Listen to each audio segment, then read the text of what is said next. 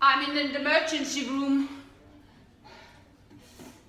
Today is not a good day.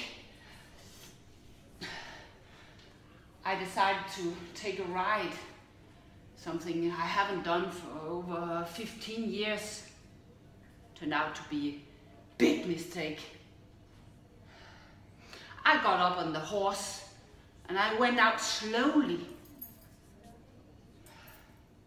And then suddenly,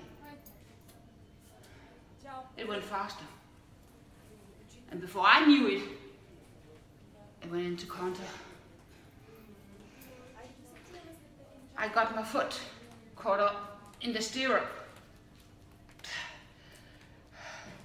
And the horse just dragged me after him. It just went on and on, and it, it wouldn't stop.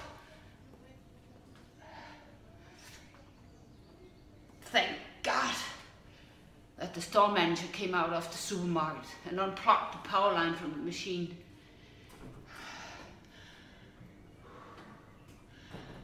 I just warn you, never try those horses.